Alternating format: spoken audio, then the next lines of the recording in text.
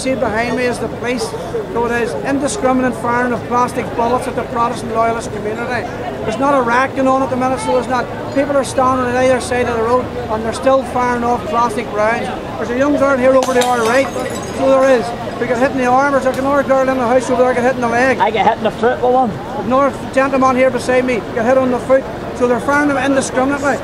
They're supposed to give a warning whenever they're going to be firing these plastic bullets. They don't care. There's a bullet there. I get hit in the foot with. There's what, they're, there's what they're firing there, right? That's a, that's solid plastic, solid plastic. So it is. You know I mean? And they're, they're just firing indiscriminately. No warnings at all. No warnings at all. I'm your own people. 500 police have come out here from Liverpool and the UK, and I've been shot by them. Not happy at all. Down there at 3 o'clock in the morning. Just stand and watch standing watching. Just standing watching. Yeah, basically. I've come over to see bonfires and I've been shot at. And I just walked up to see what was happening and I was talking to my friend from over school, just standing talking and that's what I got.